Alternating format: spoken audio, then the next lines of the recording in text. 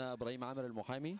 آه الألتراس النهارده طبعا دولت من الثوار ومش عايزين نفصل بين الثوار اللي كانوا في ميدان التحرير والألتراس المصري أو الأهلي أو الإسماعيلي أو كله. دول كلهم شعب مصر. اللي حصل في مذبحه بورسعيد آه لم يتخذ فيه أي إجراء قانوني.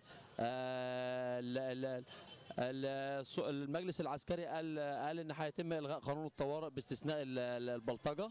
أنا بقول إن ال- اللي تم ببورسعيد ده يعتبر بلطجة وكان يجب أن يطبق قانون الطوارئ. لم يتم حبس آه، فين الحبس الاحتياطي؟ لم يتم حبس احتياطي لأي مسؤول موجود كان في بورسعيد. مدير الأمن المحافظ ال- كل المسؤولين أعوان الحزب الوطني اللي كانوا موجودين واللي ساعدوا على هذه المذبحه لم يتم حبس احتياطي لأي شخص فيهم. محبوس حوالي 72 أو 76 كلهم شباب 18 سنة و17 سنة. فين الحبس الاحتياطي. اللي اللي المفروض النائب العام يستعمله ضد اللي حرضوا على هذه المذبحه اللي تمت في بورسعيد. مدير المباحث قال التحفظ على مدير المباحث ومدير الأمن. لفظ عايم مش عارفين يعني إيه تحفظ. يعني مقعده في البيت ولا رجع وزارة الداخلية يشتغل؟ المفروض كان يتم إلقاء القبض على كافة المسؤولين التابعين لوزارة الداخلية. واللي كانوا متواجدين في محافظة بورسعيد في هذا التوقيت لم يتم القبض على أي واحد من موجود في وزارة الداخلية ولم يتم حبس احتياطي لأي شخص فيهم.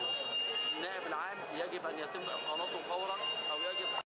تفضل بالاستقالة وبالاعتذار عن استكمال المشوار. التحفظ اللي تم وان إحنا فوجئنا ان هو تاني يوم صدر قرار من النائب العام بالتحفظ على مدير المباحث ومدير الامن. لفظ عايم في القانون وأنا راجل قانون محامي بتكلم بقول له ما مع- ما معنى التحفظ؟ ال- ال- اللي موجود عندك في القانون هو ال- الحبس الاحتياطي. كان يجب أن يتم إلقاء القبض على مدير المباحث ومدير الأمن والمحافظ ويتم وضعهم في الكلبشات والشعب المصري يشوفهم كله على الفضائيات وهم مقبوض عليهم ويتم حبسهم احتياطيا 15 يوما لأن دي بتعتبر جناية أمن دولة. وكان يجب أن يتم تطبيق قانون الطوارئ على ما تم في مذبحه بورسعيد. الطوارئ هي إيه؟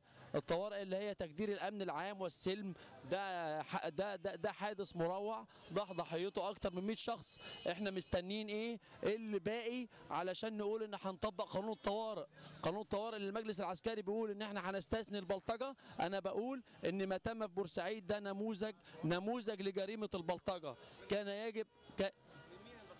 البلطجة دي من أعوان الحزب الوطني سواء كان جمال زهران أعوان أحمد عز أصدقاء جمال مبارك كل اللي دفعوا فلوس لأن إحنا سمعنا إن البلطجية كانوا حوالي 400 ل 500 كل واحد خد 500 جنيه المحرضين على. اللي وزعوا الفلوس دي والمحرضين على ارتكاب هذه المجزرة كان يجب أن يتم إلقاء القبض عليهم وتطبيق قانون الطوارئ عليهم لأن ما قاموا به يعد نموذج قانوني لجريمة البلطجة اللي المجلس العسكري بيقول هنطبقها هو المجلس العسكري النهارده بيقول إن هو هيستثني البلطجة عشان يطبقها على مين؟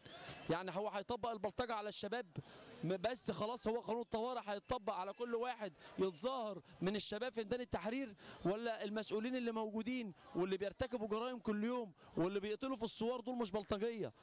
شكرا.